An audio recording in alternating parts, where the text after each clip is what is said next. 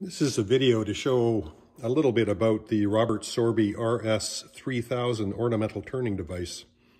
This was invented in the early 1990s in Britain by a man called Martin Thompson Oram, who was a wood turner and inventor.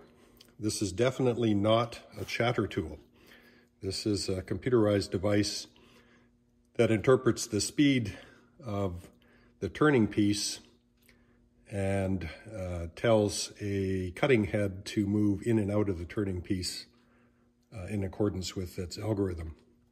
So it consists of this control box into which is plugged the uh, cutting head. And in the cutting head is a little tiny cutter. This one happens to be concave, but there's flat and convex, angled, and more. This is quite heavy. There's a uh, large electromagnet and very large spring inside. It fits into a slot quite firmly on this thing, if I can get it in. There we go. There's an adjustment wheel underneath that allows you to move it in and out of the work, and a side adjustment tool with uh, markings every four millimeters. The cutters are four millimeters wide, and the stroke is roughly four to five millimeters as well. In operation, it's very quiet, even though it's vibrating very quickly. You can't, you just see a blur at the end. You can just make out the cutter, and you can see when it just starts to engage the wood. The video rate of this camera makes it look like it's standing still. The speed of the lathe is picked up by a Hall sensor Hall effect sensor and this magnet that you stick onto here. So every time the magnet goes around, then away you go. Typically, you'll set your lathe for 500 RPM, and nothing happens until you turn on the lathe. You can't set any of the settings or anything else. So I'll turn that on. And down here, you might just see, right now, You can select the pattern, which is one, this doesn't have the expansion box. I couldn't find that anywhere. The cuts, I want, say, 16 in this circle. And then the cut offset, I'll just set as zero so that there's no offset. And then you select off in the end, and that uh, saves the program. And then you go to there. And when it's counted enough, then the little device will start vibrating. And there it goes. So I'll just show that to you like that. Looks like it's just going slowly, but it's actually going very quickly. So you advance it slowly into the work, and it starts making its cuts. It doesn't cut on every uh, uh, divot like I've, I've selected 16. It doesn't cut 16 times every time around, but it calculates when it can cut uh, according to the inertia built into this. It's very easy to use, very quiet, and it does quite a number of uh, patterns. And more importantly, it, it is not an ornamental lathe, but it does reproduce some of the patterns that they do. So I will show this thing in action here shortly, cutting these, cutting these grooves. I'm not an expert at using this, and this is not the greatest wood in the world. This is big leaf maple, which is very, very dry. And I'm not taking a great deal of time to make, uh, make the cuts, just enough to get the idea.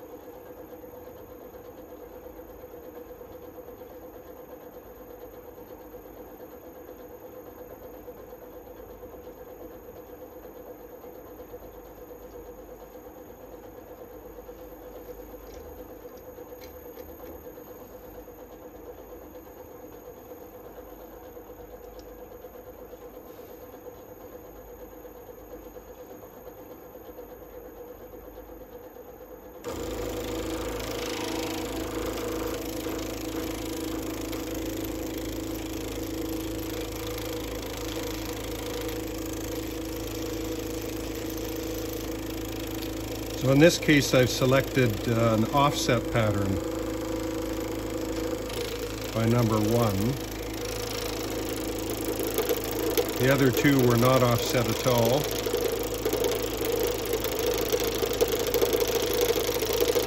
I'm slowly advancing the cutter into the work with the uh, bottom adjustment wheel.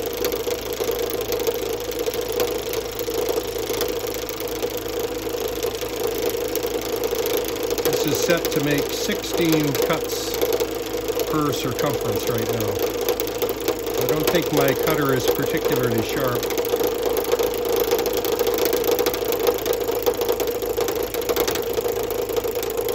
And this is not the greatest wood for doing this, but what I had on hand.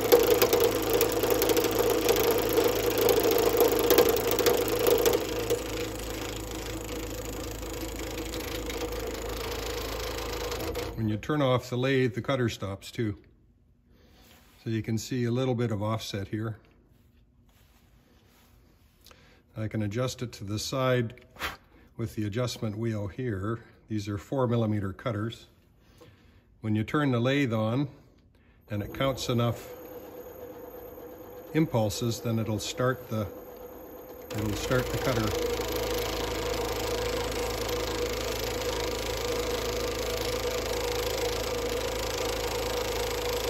advance it slowly into the work.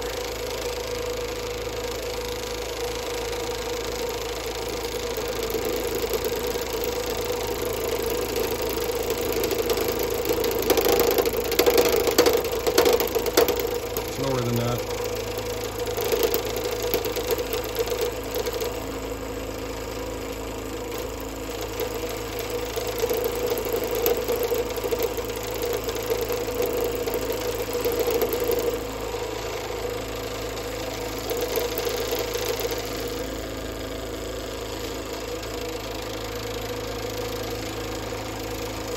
There is a stop you can set on the adjustment cutter so it only goes in so far.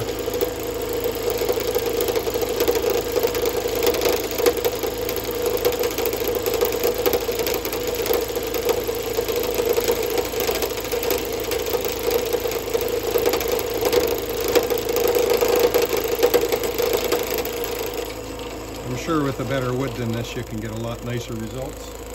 When you stop the lathe, the cutter stops. So this is offset it from the other one, and the other one's back to the first one.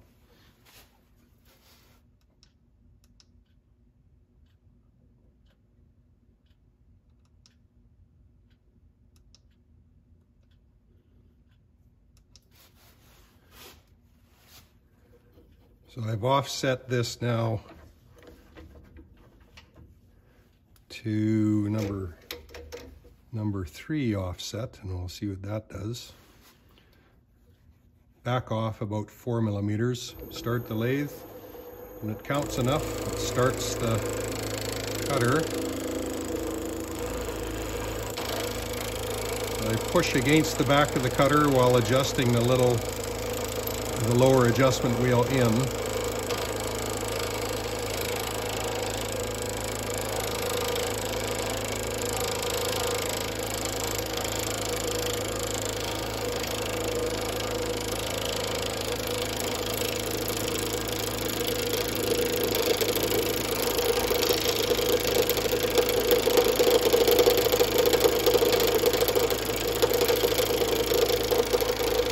This is big leaf maple, which is a fairly coarse wood.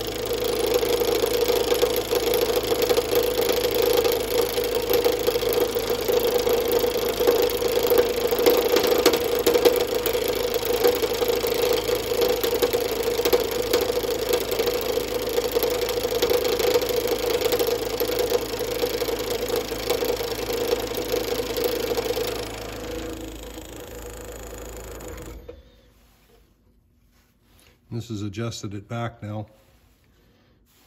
And I can get deeper cuts, but I think my cutter is not very sharp right now. A little bit of tear out on the end grain, but on uh, better wood, as I said, with denser grain, like boxwood perhaps, this would be better. So I hope you enjoyed the demo.